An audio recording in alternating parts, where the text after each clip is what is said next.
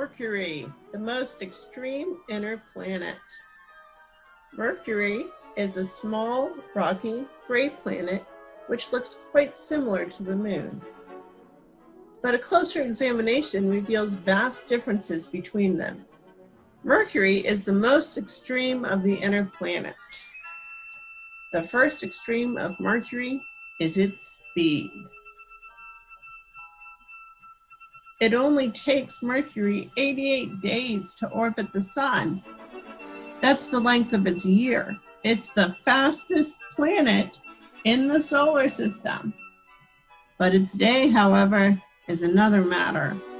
Mercury's rotational period is 59 Earth days. Rotational period is one way to define a day, though it's not the typical way we think about a day on Earth. The way we usually think of it is the time it takes for the sun to return to the same place in the sky. On Earth, this time and the rotational period are practically equal, so we don't usually think about the difference. On Mercury, however, the time it takes for the sun to reach the same place in the sky is two Mercury years, or 176 Earth days. That's a long time. Its orbital speed is where its name came from.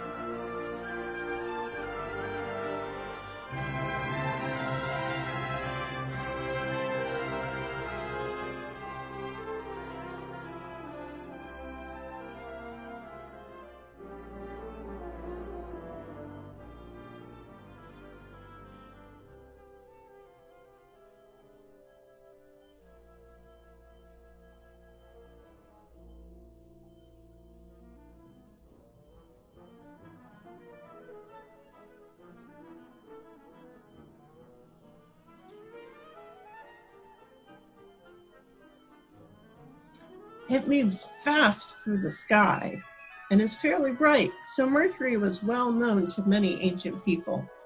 Mercury is the Roman god who was the messenger for all the other gods, and being the messenger, he had to be fast. That's why the Greeks and Romans named the fastest moving planet after the fastest moving god.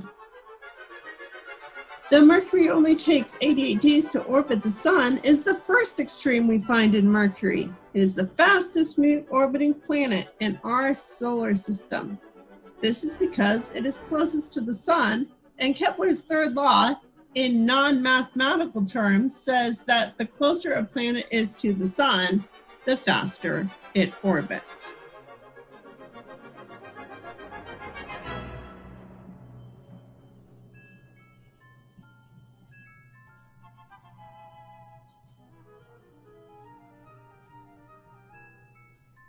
Another extreme of Mercury is its size. Mercury is the smallest planet.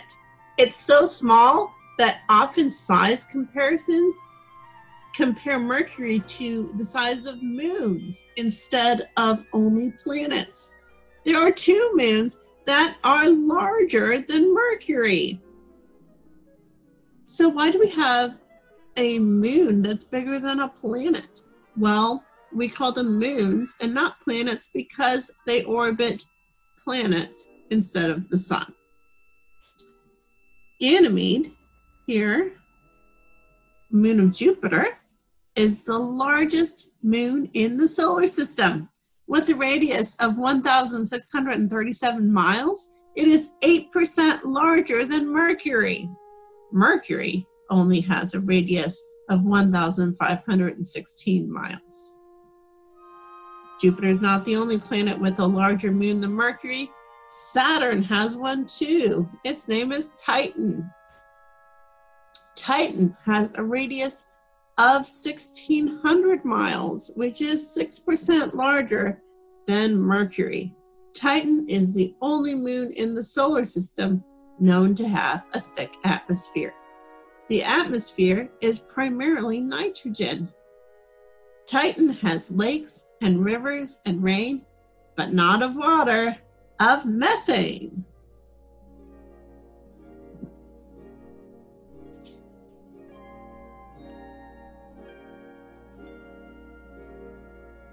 Although Mercury is small, it is actually the densest planet in our solar system when you correct for self compression. Mercury has a much larger density than the moon. This is because Mercury is mostly core. In fact, 60% of Mercury's mass is in its core.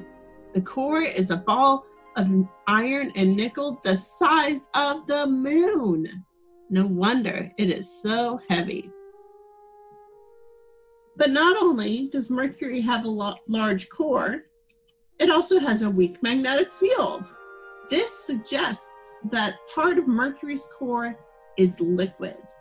Magnetic fields are generated by moving electric charges, and electrons in liquid metal can move easier than electrons in solid metal.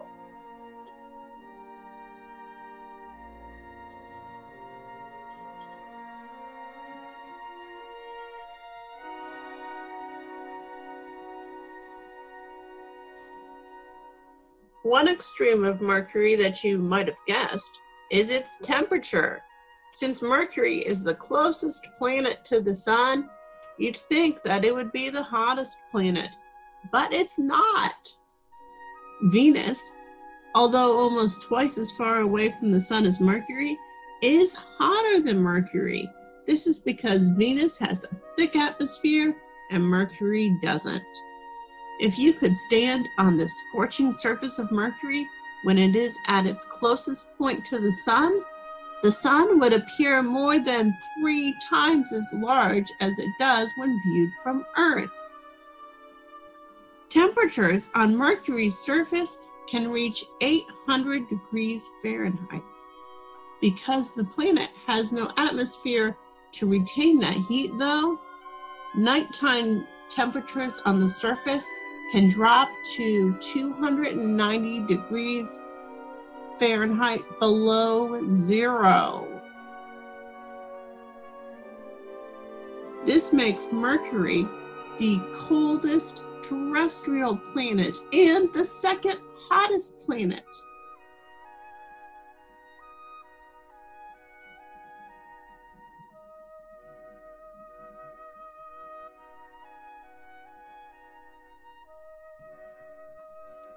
Mercury is the least explored terrestrial planet. It has been visited by two spacecraft. The first one was Mariner 10, launched in 1973. It did not orbit Mercury, but instead did three flybys of it. On the way there, it also flew, flew by Venus, using it for a gravity assist. The first ever gravity assist done on the way to a planet by a spacecraft. Mariner 10 imaged about 45% of Mercury's surface. It carried out seven scientific experiments. The television photography system, consisting of two telescopes to image the planets, an infrared radiometer to calculate the temperature of Venus's atmosphere and Mercury's surface, an ultraviolet spectrometer primarily to detect any atmosphere around Mercury, plasma detectors to study the solar wind inside the orbit of Venus for the first time, a charged particle telescope to study cosmic radiation, magnometers to detect any magnetic field around Venus and Mercury, and a celestial mechanics and radio science experiment to investigate Venus and Mercury's mass and gravitational characteristics. As the spacecraft passed behind Mercury, its radio signals were used to determine if the planet had an atmosphere and precisely measure its radius. By precisely tracking the spacecraft's trajectory as it passed Mercury, the planet's mass and gravitational characteristics could be determined. Mariner 10 lifted off from Cape Canaveral, Florida on November 3, 1973, to begin its journey to Venus and Mercury. The spacecraft passed within 3,500 miles of Venus on February 5, 1974, returning more than 4,000 images and contributing significantly to an understanding of the planet of the cloud shrouded planet during its flyby. But Venus's most important contribution to the mission was the gravity assist it provided to alter Mar- Mariner 10's trajectory and send it on its way to Mercury.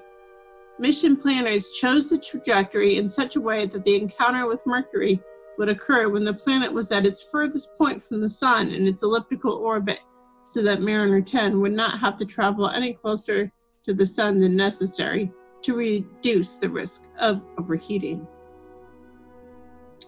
In another bit of trajectory planning, Professor Bepi Colombo at a university in Italy determined that Mariner 10 could be placed in such an orbit that it would re encounter Mercury every 176 days, exactly twice the time it takes the planet to orbit around the Sun.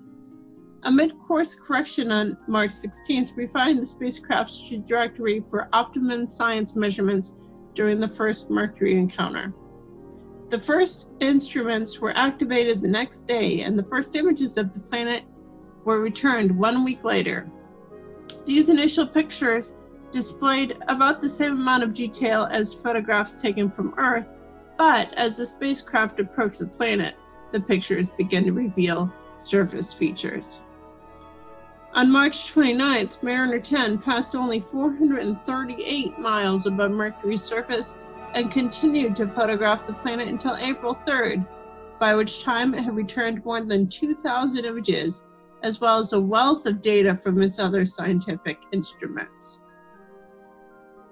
At first glance, Mercury appeared very moon like with a heavily cratered surface, but overall, the planet's surface features showed less contrast than our satellite. Other features, such as scarps or cliffs present on Mercury, are absent on the moon and hint at the planet's formation. Mercury also has mare, or flat plane-like features, like the moon and Mars, possible clues to similar planetary ancestries in terms of bombardment by asteroids. Somewhat surprisingly, Mariner 10's magnetometer detected a weak magnetic field, about 160th the strength of Earth's.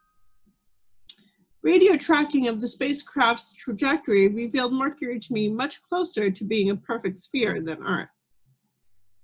Mariner 10 went on to make two more successful flybys of Mercury. The third encounter took place on March 16, 1975, but not without some drama in the days leading up to it. Mariner 10, already running low on attitude control fuel, rolled out of communication with Earth. Controllers scrambled to get time on tracking antennas to regain control of the spacecraft and succeeded just in time for the encounter. This time, the flyby distance was only 203 miles above the surface, with the main goals to study the planet's magnetic field and to take more detailed imagery of sites of interest identified from the first two encounters. About 450 narrow strips of photographs were taken, some with a surface resolution down to about 450 feet. Eight days later, Mariner 10 depleted its attitude control fuel and mission controller sent a signal to turn the spacecraft off. This brought to an end the flight operations of a highly successful mission that essentially explored two planets for the price of one and completed four encounters for the price of two.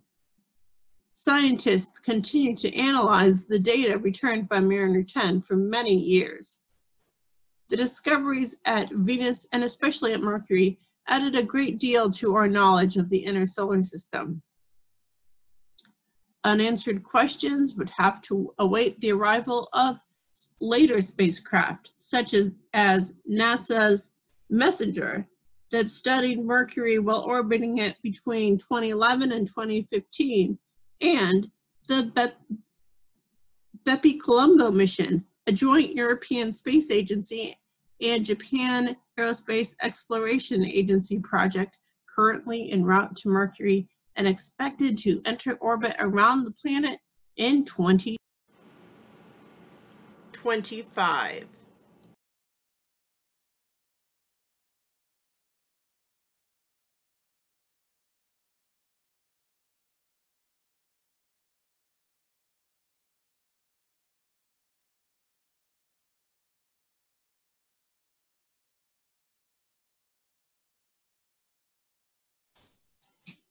After Mariner 10, we sent Messenger to Mercury. I'm going to let the scientists who worked on Messenger tell you about it themselves.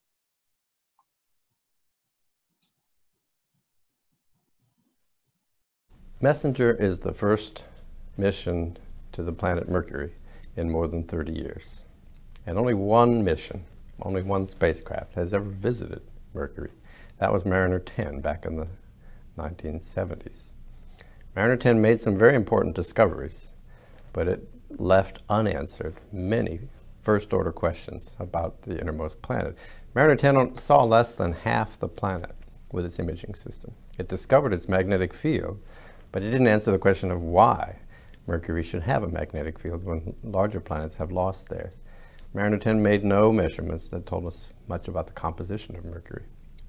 So for 30 years, the planetary science community has been working, uh, trying to answer these questions raised by Mariner 10, and Messenger has been designed to answer those questions. So even the first flyby in January 2008 is going to reveal to us uh, new discoveries. We're going to see about half of the part of Mercury that Mariner 10 never viewed with its imaging system. We're going to fly closer to Mercury than Mariner 10 ever got, so we'll get a much better view of the magnetic field, of the atmosphere. Uh, we're going to be carrying uh, chemical remote sensing instruments, so by the time we get into orbit and have a chance to integrate the observations from those instruments, we'll be doing maps of the composition of Mercury. So we're just going to get a global view for the first time and uh, a host of answers to questions that have been uh, ones that planetary scientists have been pondering ever since Mariner 10 for more than 30 years. When we get to Mercury for the Mercury 1 flyby, um, we have a number of science objectives that date all the way back to the beginning of the program. We said during the Mercury flybys, we want to map most of the planet. We want to get good set, a good set of color images to look at the slight color variations amongst the various parts of the Mercury surface. We want to look with the spectrometer. You can think of it as the camera tells you the overall design and uh, structure. The spectrometer tells you something about the mineral composition and the atomic composition of the atmosphere. It's a very, very thin atmosphere called an exosphere at Mercury. Um, Mercury does have a magnetic field, and the energetic particles and magnetic field instruments will be looking at the size and structure of that magnetosphere and trying to understand how it interacts with the sun and the solar wind. The um, laser altimeter will try to make the first measurements of reflections off the Mercury surface and get some details of how rough and what the variations are in that surface. And the gamma ray and neutron spectrometer and the X-ray spectrometer, those instruments can best look at the atomic composition of the minerals in the surface. So the camera tells you the overall structure, the um, MASCS, um, atmospheric and surface composition spectrometer tells you about the minerals and some of the atomic composition in the atmosphere, gamma rays, neutrons, and uh, X-rays tell you more about the atomic composition of the surface. So what atoms make up these minerals that the mass spectrometer can see. Put that all together and then you have a good idea of what the overall structure of Mercury is.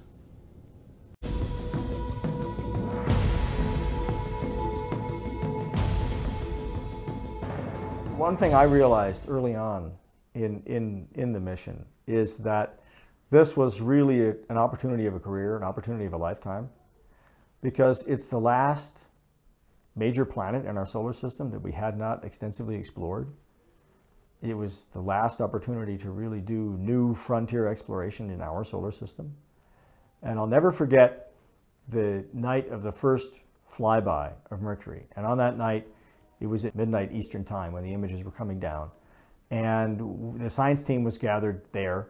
because it was the first data that was going to come down from Mercury in almost three decades. And I remember gathering around the projector and seeing those images come up, and there were like 25 of us in the room, and it was just total silence as we were looking at that and realized that nobody had ever seen this before. This was totally you know, terra incognito. You know, I'll never have that experience again. All the measurements we did of the chemical composition with our X-ray spectrometer, with our gamma ray spectrometer, with our neutron spectrometer were new, new things, never been done. Uh, we were able to do imaging down to resolutions 10, 100, more than 100 times better than anything Mariner 10 had done. And of course, we were measuring the magnetic field every day. We were measuring the shape of the planet with an altimeter. Uh, we're looking into the polar craters. We're discovering landforms on the surface that Mariner 10 just didn't have the resolution to see. When you make an unexpected discovery, it, it makes you feel like an excited kid. You know, it's Halloween. You know, I'm, you know, I've got a big bag of candy. It's very, very exciting when you make a new discovery and you realize one, I mean, this is just brand new, and two, it's not what I expected which is always more interesting than finding what you expected.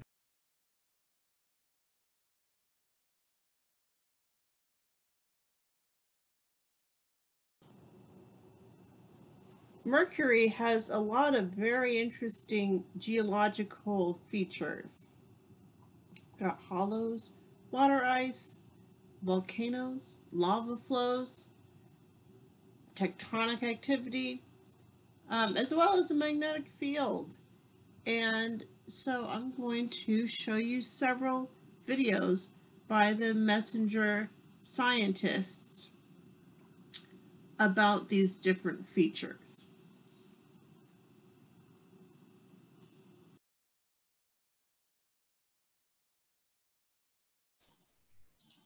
I can't properly talk about the geology on Mercury without mentioning the largest geological feature on Mercury, and that is the Caloris Basin.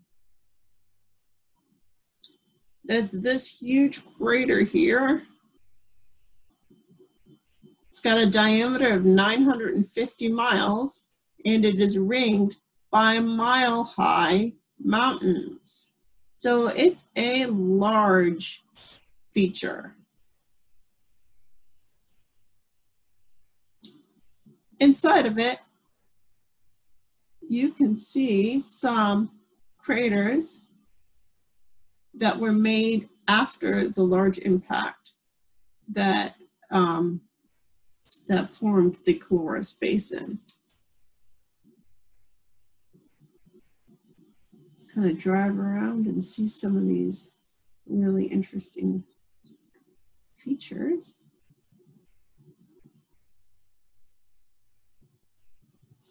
cracks.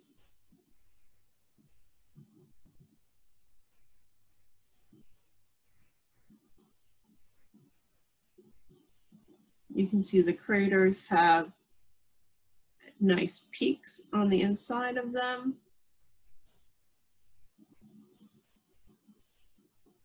The terrain is rougher over here. It's quite an interesting feature.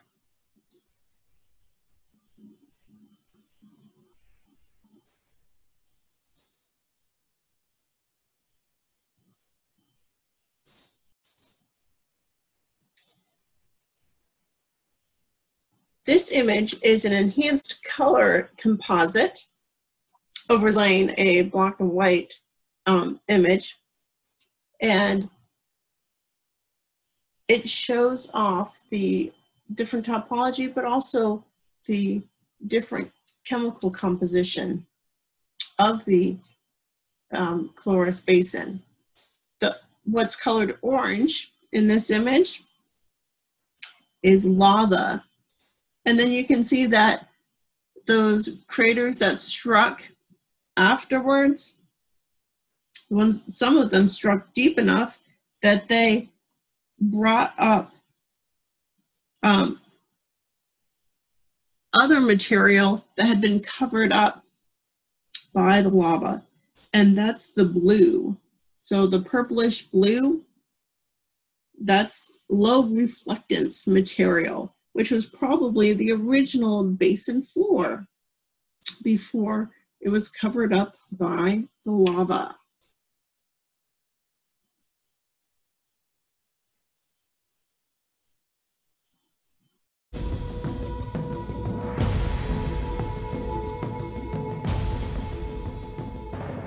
Those are something that we're still we're still investigating even as we go through the through the uh, second extended mission and into XM2 Prime, trying to look for uh, more evidence of exactly what causes these really funny looking geological constructs called hollows, which look for all the world like perhaps these are some sort of blowouts of volatile materials.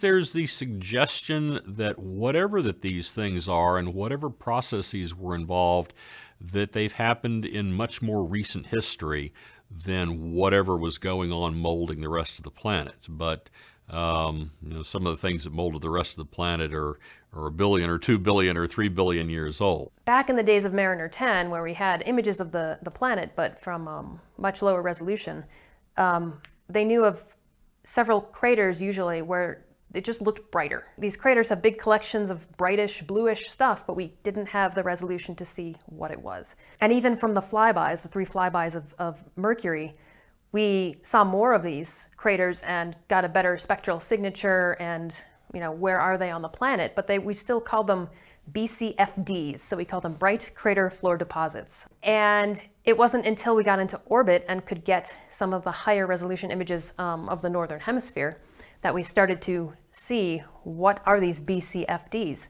And because we knew where a lot of them were, we could target these areas. Sander crater is a great example. It's up in Caloris. And when we got high resolution views back of Sander, the floor of the crater just looked amazing. It had all of these crazy shaped irregular depressions and it had this bright material outside of it. And, you know, to this day, we don't fully know what causes them.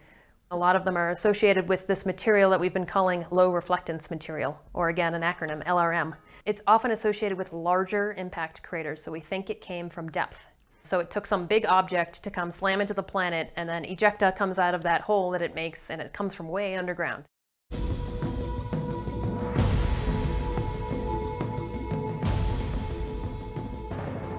Mercury doesn't have seasons, right? Earth has seasons because it's tilted on its axis.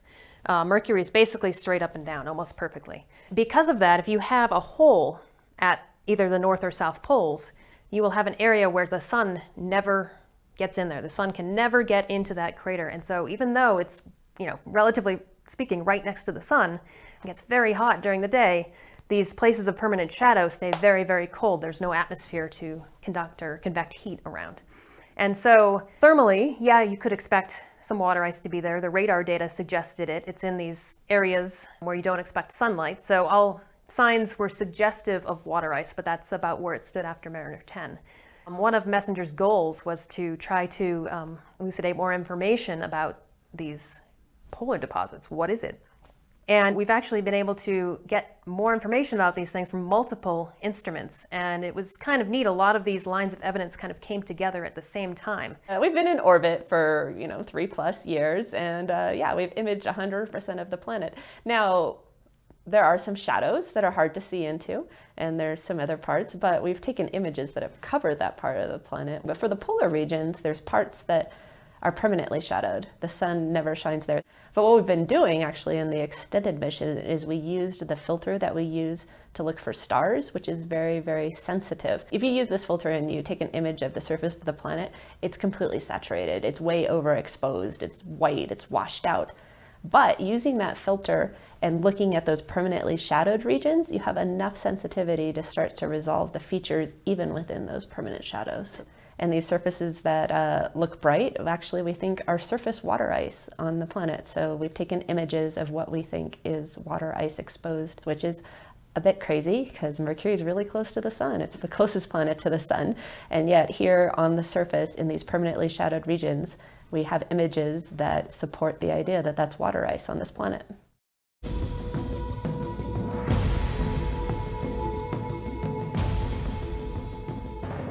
A neutron spectrometer measures neutrons, and the number of neutrons at different energies tell you information about the composition. And especially for messenger, the prime reason for using neutrons is they're a very good indicator of the presence of hydrogen And it's the idea is a neutron and a hydrogen atom have the same mass. And so when a neutron's rattling around and it finds a hydrogen atom, it loses its energy really quickly. It's just like playing billiards. So when you hit the cue ball and it hits the other ball dead on, it stops. It's the same idea. And so when you're having a detector on the messenger spacecraft that detects neutrons and you're flying around, the indicator of hydrogen is a decrease in the number of neutrons that you find. And it's almost a unique indicator. And so that was the whole purpose of testing the hypothesis of what's going on at the poles. Is it hydrogen? Is it water ice? Could it be sulfur? Is it something else? Well, we need to know, is it hydrogen? And if you see an enhancement of hydrogen at the poles, which would be indicated by a decrease in the number of neutrons, you know, that's your smoking gun to say, aha, there's, there's a lot of hydrogen there. It's likely water ice.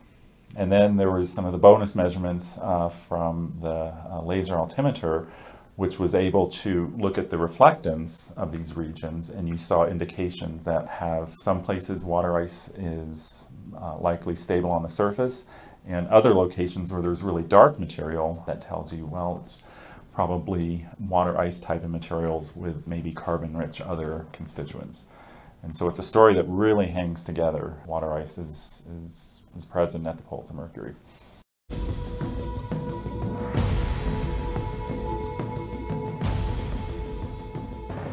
A lot of evidence for pyroclastic volcanism, which is explosive volcanism.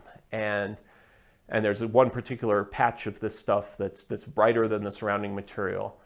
And uh, we were able to measure the chemical composition of this with the X-ray spectrometer that we could only do with this pointed uh, opportunity in the extended mission. And what we learned was that unlike the rest of the planet, this material has less sulfur than the surrounding material. And we think this is telling us that sulfur is the element that's driving these volcanic explosions. And the sulfur is vaporizing for some reason in some volcanoes.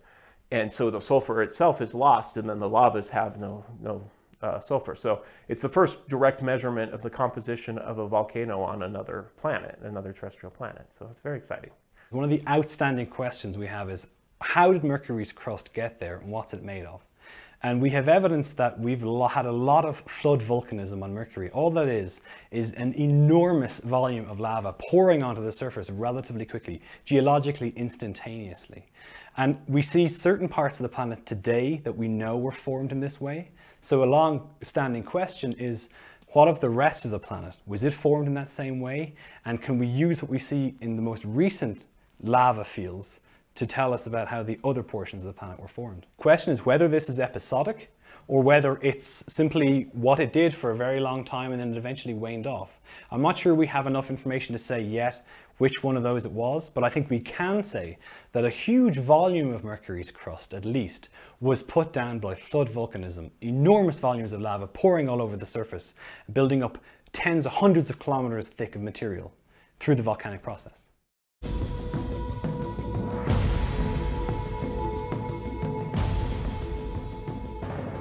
We know it's hot inside today because Mercury has a magnetic field and the only way we can explain that is that there's molten metal inside the planet.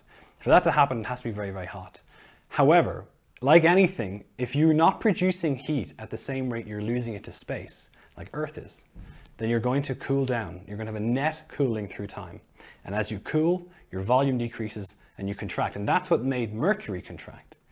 Now, an interesting question we have is, if you contract a planet you squeeze shut its upper surface. You make it really hard to get lava onto the surface. We have all these observations of a planet covered in lava. So a long-standing question that we've been trying to answer is, how do you volcanically resurface a planet that's contracting? And that's part of the work we're doing. How much a planet contracts is related to how much its temperature has changed as a function of time.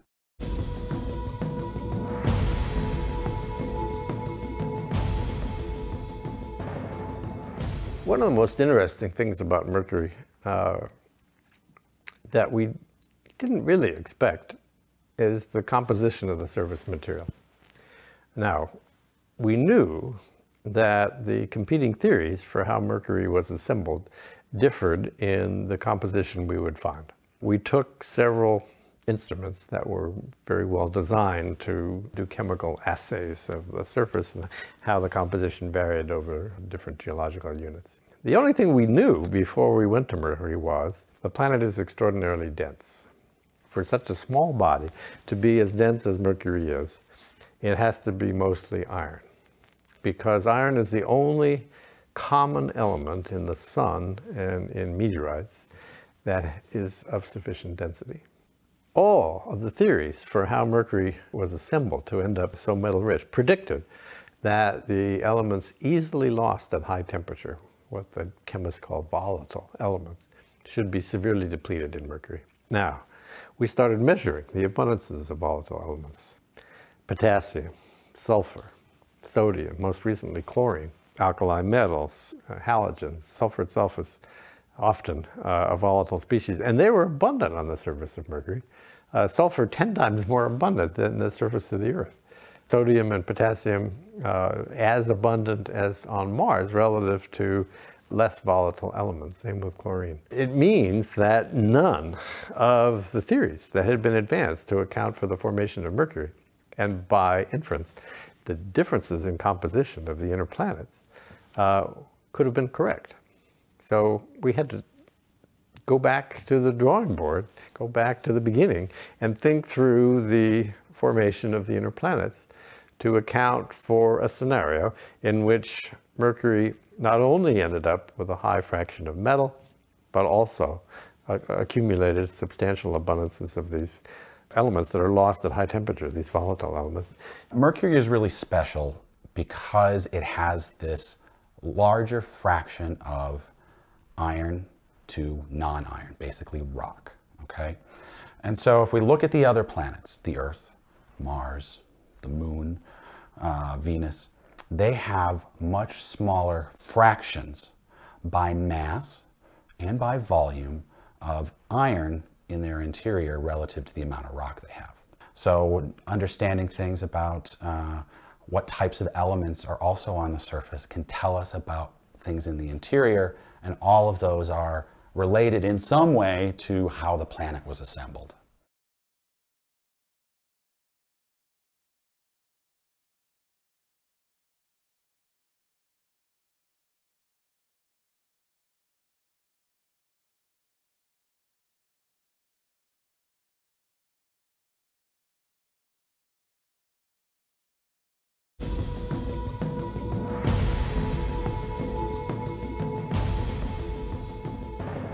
This is an end member of our solar system. And, uh, you know, it's the innermost planet. Any model that tries to explain the formation of all the planets, and especially the terrestrial planets, has to explain Mercury. And now we know a lot more about it. But probably more importantly, it tells us a lot about our own world. Because we're missing 95% of Earth's history. We have plate tectonics and oceans and vegetation and atmosphere and the hydrological cycle. And as a result, we have most of Earth's history gone. So if we want to understand what our world was like early in its day, we have to look to other worlds, Mars, Mercury, Venus, other planets and other solar systems. By understanding the universe around us, we get a much better understanding of our own world, and we might even get a sense of where our own world is going in future. Mercury is at the frontier of understanding how solar systems form. So if being human and being in a human society means anything, it means being curious, and it means exploring. So fundamentally, that's what it's about. It's about pushing the boundaries of human understanding. And there's a very popular model called the Grand Tack model that now has Jupiter forming where it is and then moving into the inner solar system and then moving out. And this, this can explain a lot of properties of the asteroid belt and the outer planets and the mass of Mars. But this model doesn't explain Mercury because they weren't really thinking about it and because we didn't know that much about Mercury. Now we have a whole other planet that has to be integrated into these kind of big scale models of the formation of the solar system we will wrap up Mercury, the most extreme inner planet, with a movie from the Messenger team members where they recount some highlights of the mission.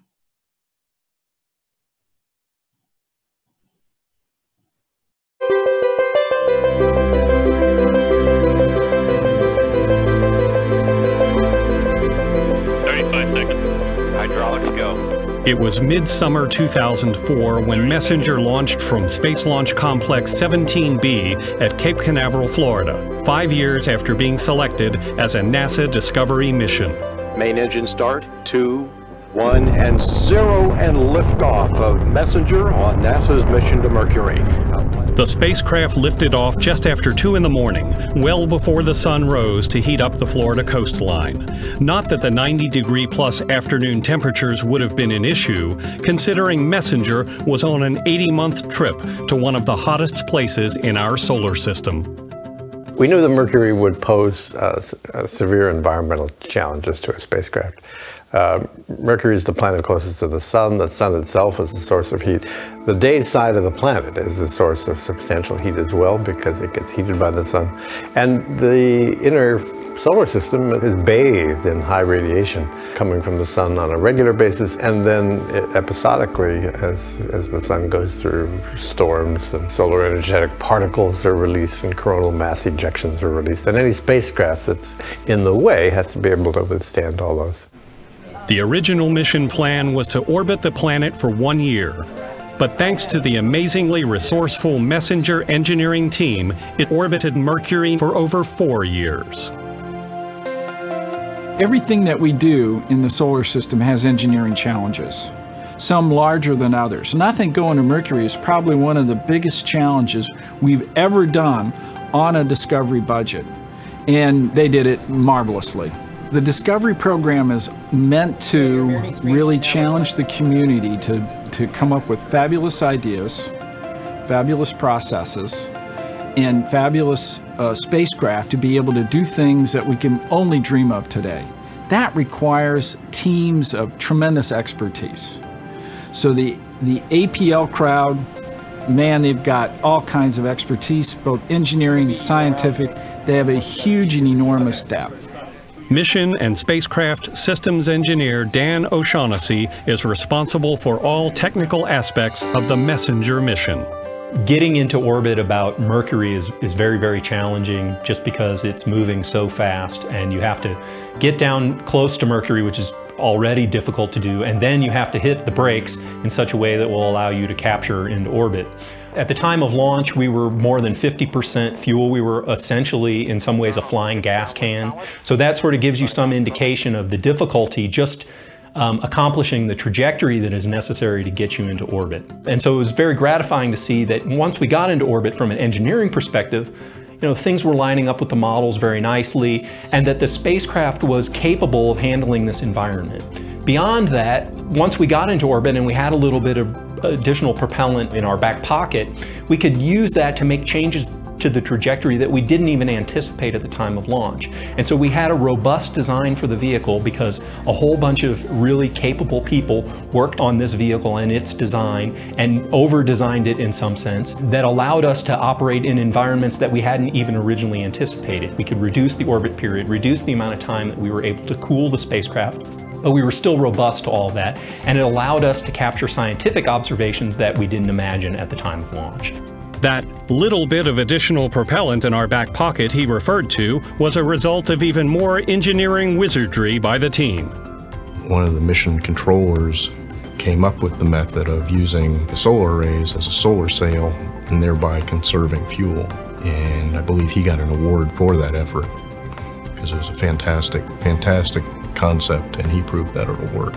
To me, I view it as a recognition of the team. It's, it's not anything I did personally, it's the environment that I'm in at APL, that our management allows a culture of innovation, allows us to take risks, fosters this level of creativity. And then I really just happen to be at the right place at the right time, the confluence of a bunch of different um, uh, ideas and uh, constraints that led to this uh, idea of solar sailing. So the engineers have been fantastic in preserving uh, uh, the, the life of the spacecraft and making the mission last as long as it did basically used the solar arrays as sails, like sails on a sailboat, which helped us to correct the trajectory a little bit over time. But as you travel through the solar system, a little bit of uh, pressure applied over a long time corrected the path to Mercury quite substantially. This is where all the extended missions came, came in from, from this preservations of fuel and uh, the margins that we're now looking at uh, allowed us to extend the mission uh, by, by the extra four weeks that, uh, that we're looking for at XM2 Prime. What we do when we create a mission concept is we have a set of things that we want to know. and those are the mission objectives. And in a discovery program, uh, we really try to focus on a few key objectives. The real gold comes from the fact that you can get into orbit, you can actually make those measurements, do the science that answers the questions we want to know, and then uncover a whole plethora of other things that we want to do. And that's why when our spacecraft get into position and are still healthy, beyond what we call their prime mission, we are highly motivated to, to keep them going because we then learned so much more about, uh, you know, Mercury in this case. We started to see almost a whole new mission emerge because we're getting lower than we were ever planning to get. So the resolution of our data are increasing, for example. We're getting new insights, stuff we couldn't hope to see. We're already finding really interesting stuff at better resolutions than we ever did before. But none of that was in the original plan for Messenger. This is essentially Messenger Part 2 because we're getting this new view of Mercury that we didn't have any right to expect we would. And that's incredible. And it's, it's a testament to the science and operation teams of Messenger who did such a wonderful job of planning this. This uh, has been spectacularly successful. For example, we were able to measure the composition of a volcanic deposit, the largest deposit of pyroclastic volcanism on the planet. And so there's a lot of evidence for pyroclastic volcanism, which is explosive volcanism. And there's one particular patch of this stuff that's, that's brighter than the surrounding material. We were able to measure the chemical composition of this with the X-ray spectrometer that we could only do with this pointed uh, opportunity and extended mission. And what we learned was that Unlike the rest of the planet, this material has less sulfur than the surrounding material. And we think this is telling us that sulfur is the element that's driving these explosive volcanic explosions. We see evidence of places now that look like lava flows It look like that they must have been flowing uphill, which means that uh, that didn't really happen. What it meant that those flows that took place, that they solidified, and then there were other things that were going on that were modifying the long wavelength topology of the planet. The newer volcanic uh, features are probably a billion years old. This is nothing that's been going on recently. On the other hand, uh, what we have discovered were the so-called hollows, which look for all the world like, you know, perhaps these are some sort of blowouts of uh, volatile materials. And those are something that we're still investigating even as we go through the second extended mission and into XM2 Prime, trying to look for more evidence of exactly what causes these really funny looking geological constructs. The science return has been excellent, with the number of images far exceeding initial estimates. When we were writing the original proposal for the Messenger mission in 1996, a long time ago, we estimated that we get about a thousand pictures of Mercury down. And that was enough to say this could be a really good mission.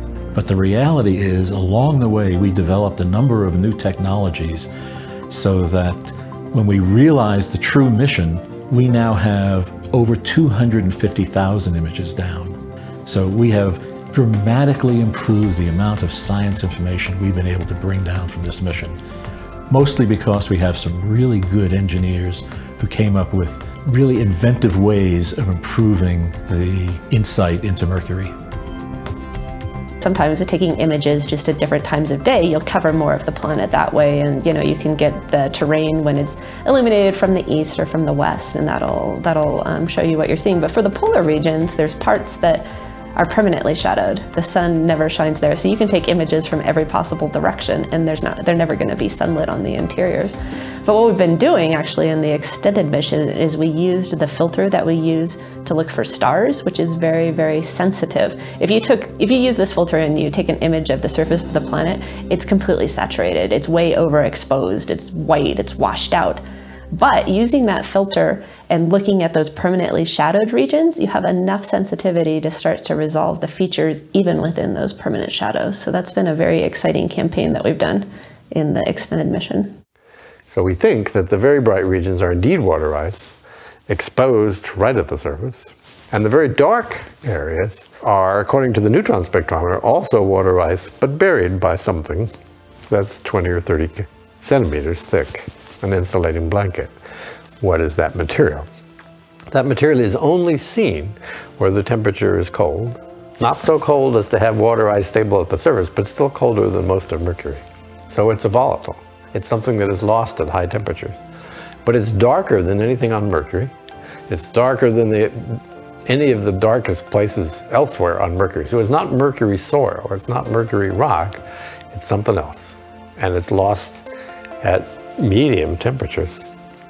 And so that led to the idea that this stuff was delivered to Mercury by the same objects that delivered the water ice, probably comets or volatile rich asteroids. What we know from analyzing the spectra of small objects in the outer solar system, which are very, very dark, or from analyzing the chemistry of meteorites that are thought to come from asteroids and maybe some from comets, is that they do have some very dark material in them, matching the low reflectance of this stuff on Mercury.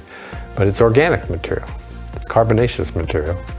So we verified the hypothesis that Mercury has water ice in these deep freeze areas of permanent shadow at the poles, but we made this additional discovery. It's also got organic material. It's got water, it's got organic material. We think of these as the building blocks of life on Earth, delivered probably from outer parts of the solar system. We've got a record on Mercury, the planet closest to the sun of this delivery process, not at the beginning of the solar system, but at a more recent phase. But it's relatively unmodified. It's extraordinarily well preserved. And it may be a record of the kind of stuff that was delivered to our own planet before life began. So it, it makes Mercury even a more interesting body for future exploration than it was before we went there. Messenger showed that it's possible to do something that close to the sun. Others are now following, expanding the range of science they can do. The European Space Agency, ESA, and the Japan Aerospace Exploration Agency, JAXA, have the Bepi Colombo mission launching to Mercury in a couple of years and arriving in 2024. But how long before we get that ever important surface sample that scientists crave? Is putting a lander on Mercury even possible? The trick is being able to slow down, get into orbit, and land. So you got to carry a lot of fuel with you. Um, that would enable you to actually get to Mercury and land. Technically, it's within reach, and uh, doing that scientifically probably be very worthwhile because it would give us those next pieces of information about understanding how the interior part of the solar system came together, and that helps to inform us better about how we ended up on our little pale blue dot that we live on we really brought Mercury up to the level of understanding of, of its sister planets in the inner solar system for the first time and accomplished a lot more than even our most optimistic expectations back in 1996. When you're doing things for the first time, I mean, you can go home and tell your kids that you created history today. And that's a, a terrific uh, source of inspiration for our engineering teams, but especially for our team here at APL. After more than four years in orbit, nearly 11 years in flight, and after 19 years since its conception, on April 30th, 2015, Messenger exhausted its fuel and crashed into Mercury's surface. We are calling it end of mission for Messenger. This has been a fantastic achievement. Uh, we go down in the history books for science and for space exploration. You guys are all part of it. Thank you for participating. Thank you very much.